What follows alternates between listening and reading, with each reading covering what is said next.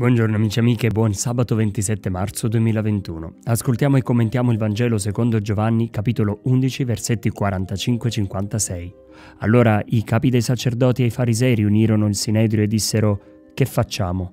Quest'uomo compie molti segni. Se lo lasciamo continuare così, tutti crederanno in lui. Verranno i romani e distruggeranno il nostro tempio e la nostra nazione.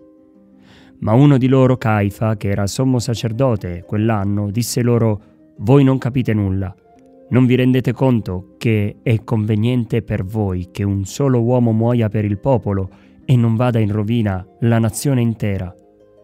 Questo però non lo disse da se stesso, ma essendo sommo sacerdote quell'anno, profetizzò che Gesù doveva morire per la nazione.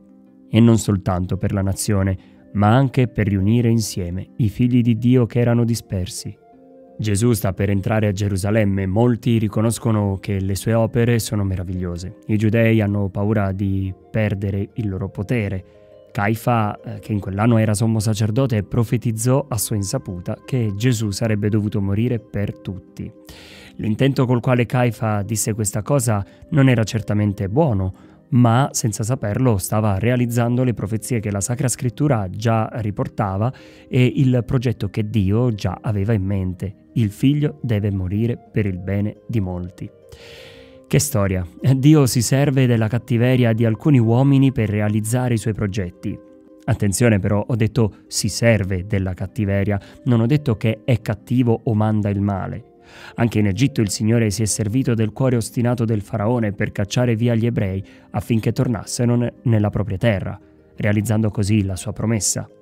Questo ci insegna che dobbiamo fidarci di Dio, lasciarlo agire anche quando tutto ci sembra insensato e orrendo. In questo tempo di pandemia, ad esempio, molti non capiscono perché Dio permetta tutto ciò e perché questo flagello non accenna a diminuire. L'ateo è colui che non vuole fidarsi di Dio perché crede di esserne migliore, ma Dio sa quello che permette. Buona giornata a tutti e buon weekend.